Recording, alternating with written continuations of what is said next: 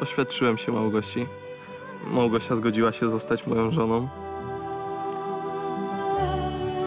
Dostaliśmy piękny prezent, zostaniemy rodzicami. To chyba uwieńczenie naszych wszystkich marzeń, takich życiowych. Mhm. Zostaniemy rodzicami. Najbardziej podoba mi się w Pawle to, że w pewnym momencie to ja schodzi na drugi plan, tylko po prostu my jest najważniejsze, a nie ja.